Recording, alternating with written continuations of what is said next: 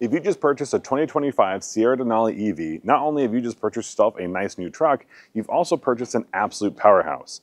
But it's one with a trick, and one that will actually power your house, because this is General Motors' first bidirectional charging vehicle. And all that happens right back here at the charge port, where power can come in and power can also come out should you end up losing electricity at home.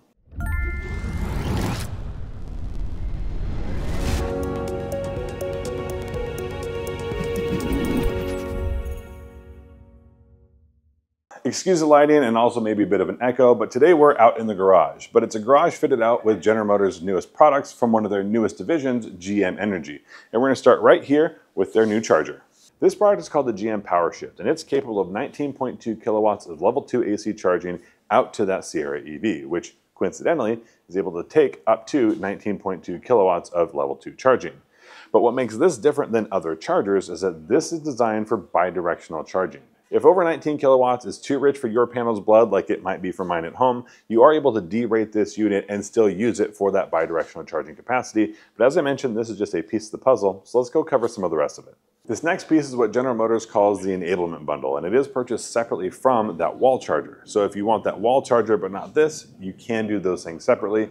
Or if for some other reason you want to do it piecemeal, maybe it's a budgetary issue, you are able to go incrementally into this system. But what we have here is essentially your inverter and your power hub, or really a sub panel. On the inverter, that's handling the power going in and out. And one thing to note is that the power coming out is going to be maxed out at 9.6 kilowatts, which honestly should be enough for most homes. If it's not enough for your entire home, that's going to be where this power hub kicks in because this power hub is what denotes what is and isn't powered when you lose power and you are now being run by your truck. So let's say it's some of the bare essentials. You want your basic lighting, maybe it's an emergency heater, maybe it's all the heating because you have enough overhead, or you really, really, really need to get those dishes done. If that's something you won't sacrifice, you can go ahead and run it through this. Just know 9.6 is all to be able to run out of that truck at this time. Emergency backup is a great thing to have. But what if it's not an emergency and you still want to take advantage of things like the solar panels you already have in your home? Well, that's where this battery storage solution from General Motors is going to come in and it comes in three different sizes. Right now it's a 10.6, 17.7, or 35.7 kilowatt hours of storage. And it's going to be seamlessly integrated into this energy ecosystem. But it is going to operate differently from that truck because this will be functional even when we're not talking about a power outage. As I mentioned, this can be great for people who have solar or are considering solar, but also if you have time of use and you really want to make the most of the energy available, you'd be able to store some of that power while it's cheaper and then utilize it later in the day. It will also be part of that home battery backup should your power go out. It'll kick on right away. And then should this run out, it would then go ahead and pull from the truck. So between all of these products, you have some pretty great solutions for home battery storage. But there are a couple drawbacks. First and foremost, everything comes with a price. So looking at GM Energy's website right now, it shows that you can get the entire bundle starting at $12,700. That's going to include your charger, inverter, hub, and energy storage. Though GM right now is running a sale through December 2nd, 2024, you can purchase this entire bundle starting at $9,200, which is some pretty significant savings. And it is worth mentioning that the GM Power Bank, that energy storage, is eligible for the 30% federal tax credit but with any of these tax credits, I recommend you talk to your CPA before you start counting on those savings. Now I want to dive just a little bit deeper because we start with the first link in the chain. That's going to be the PowerShift charger. And that starts with a retail price before the current sale of $16.99. And the fact is, this is a high-powered charger at 19.2 kilowatts, but those do already exist in the market and you can get those less expensive than $16.99. The other argument that I might make is that 19.2 is probably more charging than you actually need. And though you can derate this one, you're also able to get significantly less expensive level 2 chargers at that 11.5 kilowatts. And a great example of this is going to be the Tesla Universal Wall Connector, which is also going to be bidirectional capable. Now, obviously, they're going to have their own system at Tesla, and GM has their own, but the fact is that on this piece for piece, that Tesla comes in quite a bit less expensive, even though admittedly, it's not going to be nearly as high powered of a charger. If you wanted to break things down a little bit further, there are some other bidirectional chargers out there, but they're not going to be manufacturer created or warranted. So that's one of those things that at this point I would probably be a little bit wary of, but these all do come out. The whole point here is that that PowerShift charger isn't going to be the best deal, but understandably, it's not horrendously priced. Now, the next piece of this puzzle is actually not going to be in the middle chain, which I would consider the inverter and the hub. It comes down to that power bank. And the power bank starts out with a total energy capacity on the absolute low end of just about 10.6 kilowatt hours. While that's a fair amount of storage for some everyday usage, especially if you have some renewable energy that you want to go ahead and capture, like you want to use the solar power while you're not at home, you are going to be able to make the most of this 10.6 kilowatt hour system. But one of the issues is, as we scale these batteries up, we also change how much power we're able to draw from them at any given moment. Because we're not just looking at the total amount, we're looking at what do we need right now.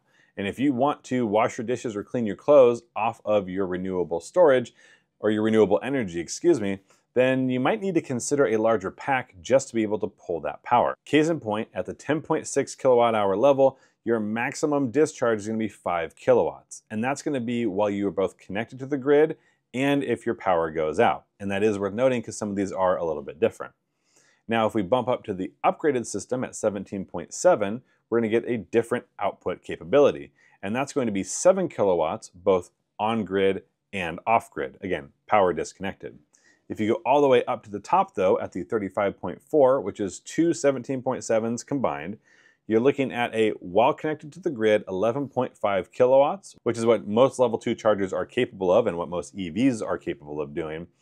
But you get a max discharge off grid of 9.6 kilowatts, which is going to max what we have on the truck. All this to say is that if you have a larger load that you want to do with your renewable resources, those are things you're going to have to juggle just a little bit.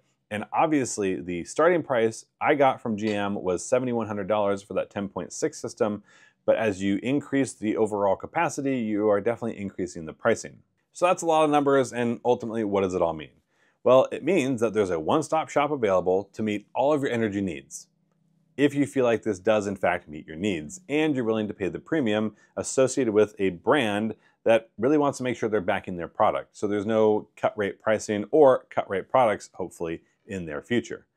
Now, this is going to be a complete system. Plug your vehicle in and charge from the energy you have stored, which you brought in from solar potentially. These are great ways to utilize it.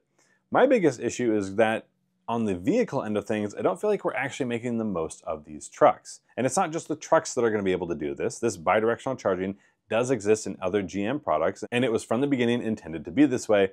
But let's look at the max range on the Sierra EV because that's what we looked at this weekend.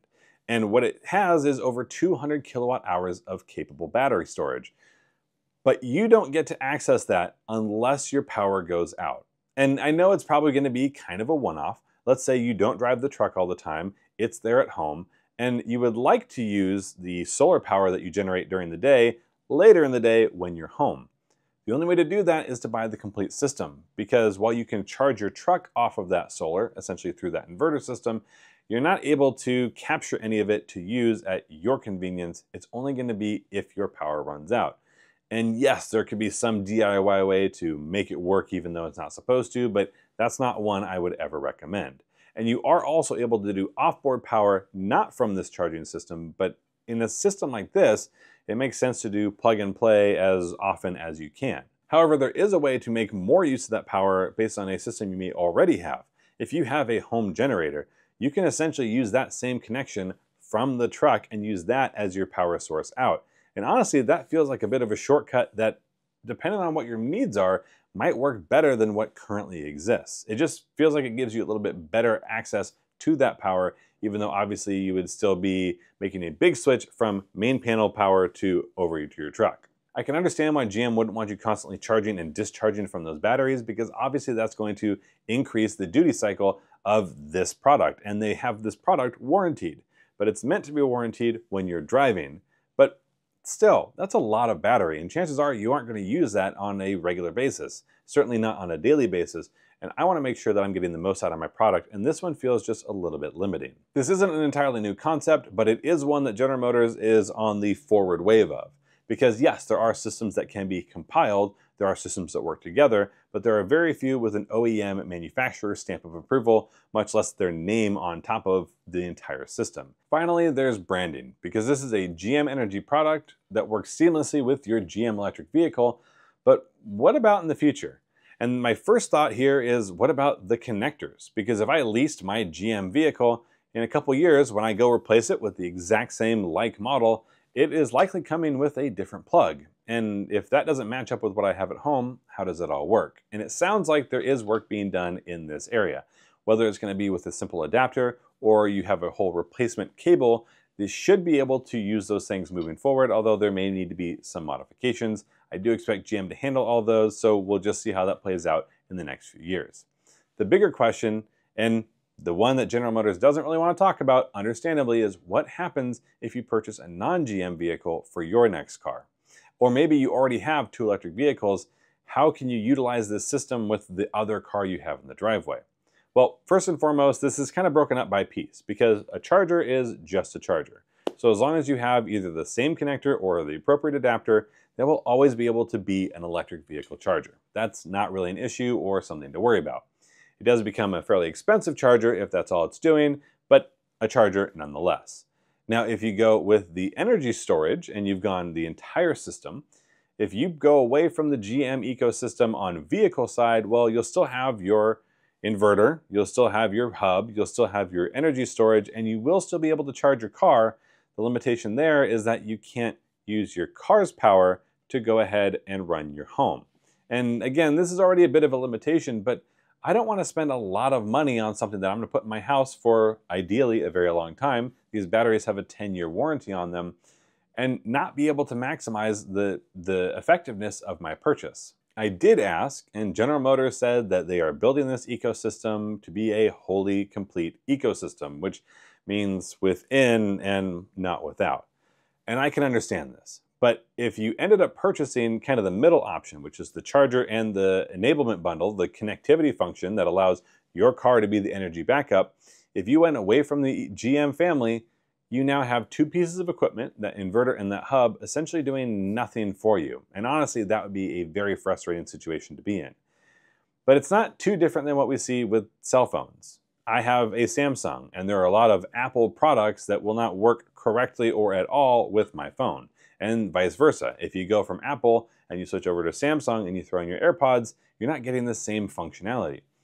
But that's a bit different because that's a $1,000 phone at, you know, well, at best, but that $1,000 phone and the $150, $200 earphones are very different than a multi-thousand dollar piece of equipment that again is now essentially useless. And not even not working the right way or all the features accessible, if you go with that middle bundle, you paid $5,600 for essentially nothing. And that's where things get frustrating for me. There's a lot going on here and a lot of people who may or may not be interested. Let me know in the comment section below if you are looking for a whole home energy system and if this is something you'd be interested in or if you have one and you're looking to upgrade, is this along the path of what you're interested in, or is there something else that you're not getting out of your current that this is also not meeting? Let me know down in the comments. I am just as curious as you are, but luckily I have access to that GM team, and I will continue to ask them questions whenever I get the opportunity. Thank you so much for watching. Again, any other thoughts, questions, comments, concerns, leave those down in the comment section. And until next time, I'll see you down the road.